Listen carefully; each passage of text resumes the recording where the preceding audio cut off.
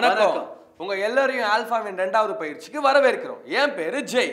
என் பேரு மாக்கி. இது ஆல்பாவுடைய சிறுகுழு பற்றிய பயிற்சி. ஒருவேளை நீங்க இப்படி யோசிக்கலாம். இல்ல இந்த வீடியோவை நான் அவாய்ட் பண்ணிடலாம்னு நினைக்கிறேன். ஏன்னா எங்க சர்ச்லயும் இந்த மாதிரி சிறு குழுக்கள்ல நான் இருந்திருக்கிறேன். இதுவும் அதே மாதிரி தானே இருக்கும்? ஆமா இது அதேதான். ஆனா வேற மாதிரி. இந்த சண்டை போடும்போது வித்தியாச வித்தியாசமான ஸ்டைல் இருக்குமே அந்த மாதிரி.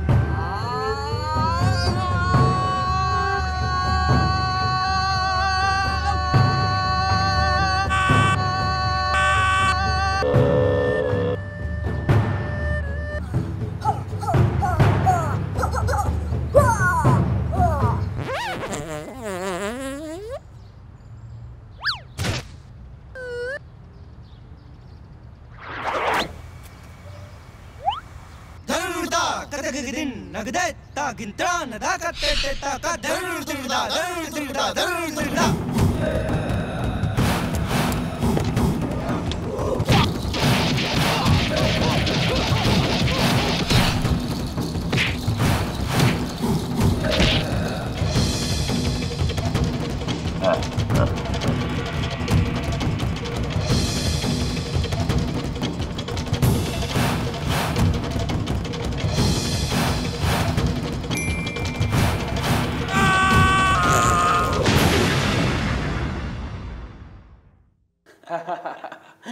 சர்ச்சில் இருக்கிற சிறு குழுக்கள் கூட ஆல்ஃபா சிறு குழுக்கள் மாதிரி தான் இருக்கும்.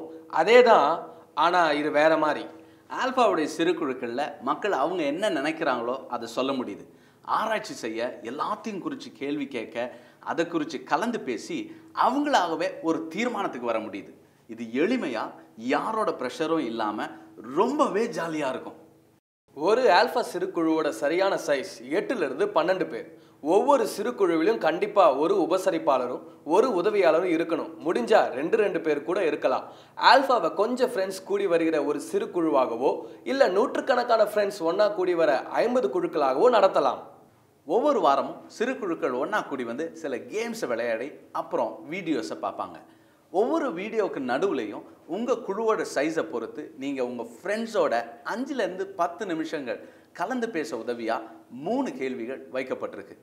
யூஸ்வலாக இந்த கேள்விகள் ஸ்க்ரீனில் வரும்போது ரோட்டில் போகிற சிலர் அந்த கேள்விக்கு அவங்க கருத்தை சொல்கிறத பார்ப்பீங்க.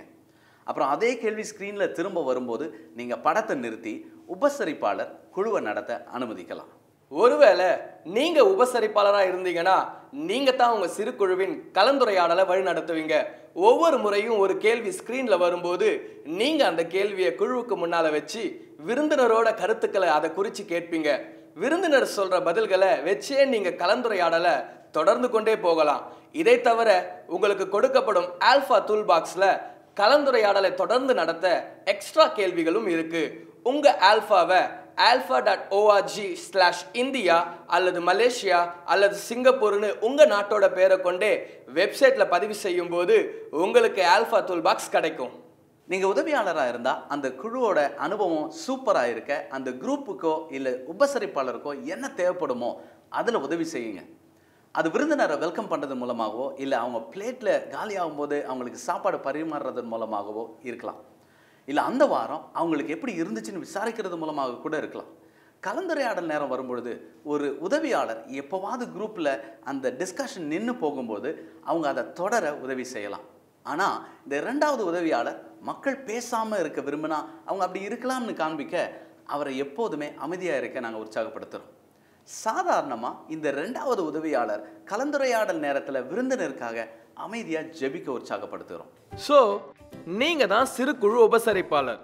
விருந்தினர் வரும்போது உங்கள் முதலடியை எடுத்து வைங்க. ஓ ஓ இந்த மாதிரி சொல்லலை. சரி கொஞ்சம் ரீவைண்ட் பண்ணி திரும்பி ஆரம்பிக்கலாம். ஹே என்னோட பேர் மாக்கி. உங்களை பார்க்குறதுல ரொம்ப சந்தோஷம். ஆல்ஃபாவுக்கு உங்களுக்கு வரவேற்கிறேன். நான் தான் உங்கள் குரூப்போட உபசரிப்பாளர். என் பேர் டூரி தனுரி வெல்கம் ஹே நான் பூச்சி காட்டுப்பூச்சி. உட்கார் வாங்க தந்தூரி காட்டுப்பூச்சி. நீங்க எதுக்காக எப்படி ஆல்ஃபாவுக்கு வந்தீங்கன்னு சொல்ல முடியுமா? என் ஃப்ரெண்ட் ஜேம்ஸ் சொல்லியிருந்தாரு. அல்ஃபால ஃப்ரீ சாப்பாடு கொடுக்குறாங்கன்னு சொல்லியிருந்தாரு. அதான் வந்தேன். ஓ சூப்பர். நீங்க ஃப்ரீ சாப்பாடுக்குன்னு வந்தீங்களா? இன்னைக்கு ஆல்பால நமக்கு சிக்கன் ஃபீட் அதோட சூப்பரான பால் பாயாசம். ஸோ தந்தூரி நீங்க இந்த திருத்துவத்தை பிதா குமாரன் பரிசுத்தாவியானவர் இயேசுவோட உயிர்த்தெழுதல் இயேசுவோட சபை இதெல்லாம் நம்புறீங்களா? ஹேய் நீ மேன்செஸ்டர் யுனைடெட் ஃபுட்பால் கிளப்போட ஃபேன் தானே? ரெட் டெவில்ஸ் கூட சொல்லுவாங்கல்ல உன்னை கடிந்து கொள்ளுகிறேன். உங்களுக்கு பாயாசம் வேணுமா? ஒரு ஆல்ஃபா சிறுகுழு எப்படி வேலை செய்யும்? வெல் ஒரு சூப்பரான ஆல்ஃபா சிறுகுழு நடத்துறதுக்கு மூணு மதிப்பீடுகள் இருக்கு. முதலாவது அன்பு. கிறிஸ்தவ நம்பிக்கையின் அடிப்படையே தேவனை நேசிக்கிறதும் ஒருவரை ஒருவர் நேசிக்கிறதும் தானே. இங்கே தான் சிறுகுழுவில் தான் நாம் ஒருவரை ஒருவர் நேசிக்கிறத காண்பிக்க முடியும். ஒரு சிறு குழுவுக்கான ரெண்டாவது முக்கியமான விஷயம் கவனிக்கிறது. இது ரொம்ப கஷ்டமானதுன்னு நினைக்கிறேன். ஏன்னா ஆல்ஃபாவில் ஒரு குரூப்பில் உபசரிப்பாளராக இருக்கும்போது நீங்கள் அடிக்கடி இப்படி யோசிக்கலாம். வெல் மக்கள் அவங்க கேள்விகளோடு என்கிட்ட வராங்க. அவங்களுக்கு பதில் கொடுக்கறது தானே ஒரு தலைவராக என்னோட பொறுப்பு? வெல் பைபிள் ஸ்டடீஸ்லையோ இல்லை சர்ச்லேயோ இருக்கிற மற்ற குரூப்புகளில் இது ஓகேவாக இருக்கலாம். ஆனால் ஆல்ஃபாவில் அப்படி இல்லை. ஆல்ஃபாவில் உரையாடல் பகுதி தான் நாம் நம்புகிற விஷயங்களை மற்றவங்களுக்கு சொல்லக்கூடிய இடம். ஆனால் சிறு குழு நேரத்தில் விருந்தினர்கள் அவங்க நம்புகிற விஷயங்களை நமக்கு ஷேர் பண்ணுற இடம். உபசரிப்பாளரோட பொறுப்பு கெஸ்ட்டு நடுவில் கலந்துரையாடலை உற்சாகப்படுத்தி அவங்களோட கருத்துக்களை நல்லா கவனிக்கிறது தான். நாம் இப்படி கற்பனை பண்ணிக்கொள்ளலாம் இந்த பால் சிறு குழுவுக்கு நடுவில் நடக்கிற உரையாடல்னு வச்சுக்கொள்ளலாம் நம்ம ஜே அவர் உபசரிப்பாளராக இருக்க போகிறார் ஸோ ஜெய் தான் உபசரிப்பாளர். இது சரஸ்க்கும் ஜெய்க்கும் நடக்கிற கலந்துரையாடல். அவங்களுக்கு அது ரொம்ப சுவாரஸ்யமாக இருக்குது ஆனால் குரூப்பில் இருக்க மற்றவங்களுக்கு அது ரொம்ப போராக இருக்குது ஏன்னா அவங்க பார்த்துக்கிட்டு தான் இருக்காங்க அவங்களால பங்கு பெற முடியல. இது ஆல்ஃபா செருக்குழு நடக்கிற விதம் இல்லை. நீங்கள் நடந்துக்கக்கூடிய இன்னொரு முறை இருக்குது அப்புறம் ஜெய்கிட்ட இருந்து சைமனுக்கு திரும்ப ஜெய்க்கு. அடுத்து ஜெய்கிட்ட இருந்து ராஜ்கிட்ட திரும்ப ஜெய்கிட்டயே. ஜெய்கிட்ட இருந்து கவிதாக்கு திரும்ப ஜெய்க்கு. அப்புறம் ஜெய்கிட்ட இருந்து சரஸ்க்கு போய் திரும்ப ஜெய்கிட்ட. அப்புறம் ஜெய்கிட்ட இருந்து சைமனுக்கு திரும்ப ஜெய்க்கு. இது பரவாயில்ல. ஆனால் இன்னமும் ஜெய்யை சுற்றி தான் அது நடந்துக்கிட்டு இருக்கு. இதுவும் ஆல்ஃபா நடத்தக்கூடிய விதம் இல்லை அதுக்கு பதிலாக கலந்துரையாடல் இப்படி இருக்கணும். ஜெய் ஒரு கேள்வியோட கலந்துரையாடலை தொடங்கி வைப்பார். அதுக்கப்புறம் விருந்தினர்கள் அவங்களுக்குள்ளேயே கலந்து பேசுவாங்க.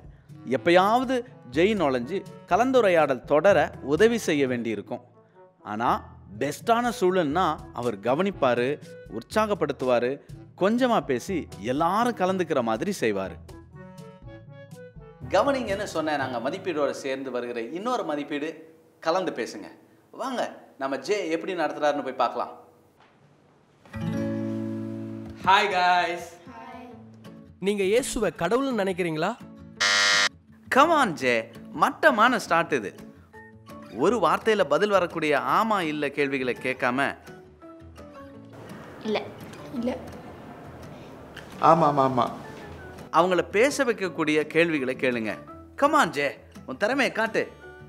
நீங்க இயேசுவை யாருன்னு நினைக்கிறீங்க? அவர் கூட நீங்க இருந்திருந்தா எப்படி இருந்திருக்கும்?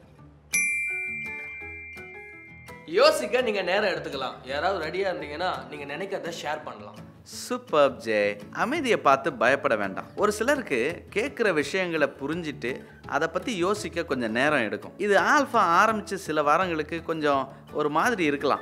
ஆனால் ஒரு சில வாரங்களுக்கு பிறகு அனுபவம் சூப்பராக மாறிடும். நான் என்ன நினைக்கிறேன்னா ஏஸ் ஒரு டூப் லைக் ஒரு பொக்கிமோன் கேம் மாதிரி. உன் டிஷர்ட் ஒரு டூப் உன் பேண்ட் ஒரு டூப் ஷூஸ் கூட ஒரு டூப் தான். ச்சே! ஓ ஓ காய்ஸ் தயவு செய்து இப்படி செஞ்சிடவே செஞ்சிடாதீங்க. கூல் டவுன் சே இந்த பாயசத்தை குடி எல்லாம் சரியாயிரும். குடி குடி. Cool down cool down cool down okay இப்போ நீ ட்ரை பண்ணு. அது நல்ல கருத்து ப்ரோ ஷேர் பண்ணதுக்கு ரொம்ப தேங்க்ஸ் நீங்க என்ன நினைக்கிறீங்க இதை பத்தி?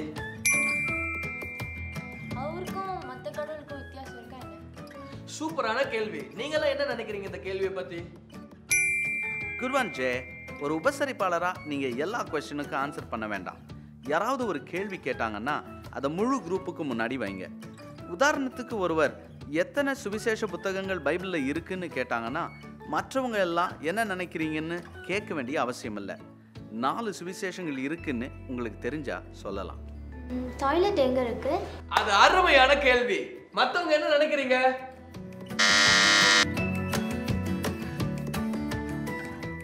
நாங்கள் கடைசியை சொல்ல விரும்புகிறது என்னன்னா உங்களை ப்ரேயர் பண்ண உற்சாகப்படுத்துகிறோம் ப்ரேயர்னு வரும்போது வந்த விருந்தினர்களுக்கு அன்ஈஸியாக இருக்கிற எதுவானாலும் அவாய்ட் பண்ணிடுங்க அதனால் சர்ச்சில் நடக்கிற மாதிரி முன்னாடி நின்று ப்ரேயர் பண்ணுறதில்ல சாப்பிட்றதுக்கு முன்னாடியும் நிகழ்ச்சி முடியும் போதும் ப்ரேயர் பண்ணுறதில்ல நான் எப்படி விசுவாசித்து என்கிற பகுதியோட முடிவில் யாராவது சிம்பிளாக அமைதியாக இயேசு அவங்க வாழ்க்கைக்குள்ளே வரணும்னு ப்ரேயர் பண்ண சான்ஸ் கிடைக்கும். ஒரு சிலருக்கு இந்த சந்தர்ப்பம் அவங்க பிரயாணத்தில் ரொம்ப முக்கியமானதாக இருக்கும். ஒரு சிலருக்கு இப்படி செய்கிறது கொஞ்சம் சீக்கிரம்னு தோணலாம். அப்புறம் ஏன் எப்படி நான் ஜெபிக்க வேண்டுங்கிற பகுதியில் ப்ரேயருங்கிற தலைப்பு குறித்து இன்னும் ஆழமாக ஜெபிக்க விரும்புகிற மக்களுக்கு உதவியாக சில வழிமுறைகளை பார்க்குறோம். இந்த பகுதியின் முடிவில் உபசரிப்பாளர் நன்றி சொல்கிற விதமாக சுருக்கமாக எளிமையாக ப்ரே பண்ணலாம். ஏதாவது ஒரு கூட்டத்தில் குரூப் ப்ரேயருங்கிற ஐடியாவை நீங்கள் அறிமுகப்படுத்தலாம்.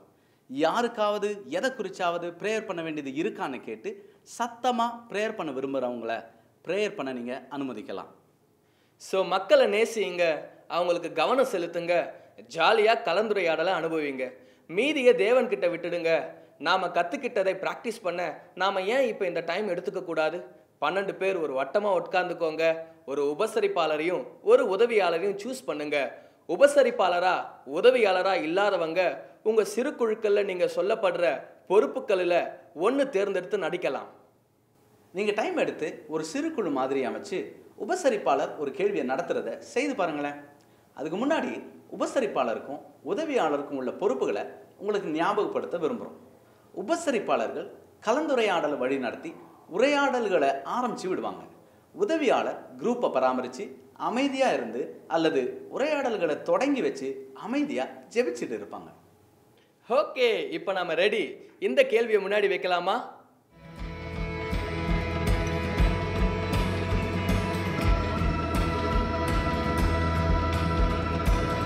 உபசரிப்பாளர்களே உதவியாளர்களே நீங்கள் கண்டிப்பாக சூப்பராக நடத்தியிருப்பீங்க. நான் நினைக்கிறேன் நீங்கள் நடத்தும் போது உங்கள் விருந்தினர்கள் உங்களை ஒரு வழி பண்ணியிருப்பாங்க. ஏன் நம்ம கொஞ்சம் நேரம் எடுத்து அடுத்து வர கேள்விகளை வச்சு நம்ம அனுபவம் எப்படி இருந்துச்சுன்னு டிஸ்கஸ் பண்ணி பார்க்கக்கூடாது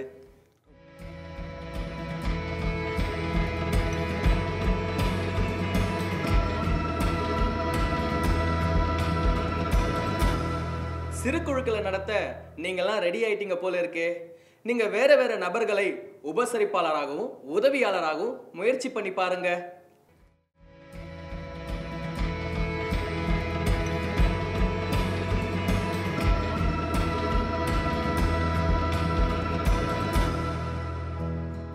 முடிக்கிறதுக்கு முன்னாடி ஆல்ஃபாவில் சிறு குழுக்களை நடத்துகிறது சவாலாக இருந்தாலும் அது ரொம்ப முக்கியமான அனுபவம்னு சொல்ல விரும்புகிறோம்.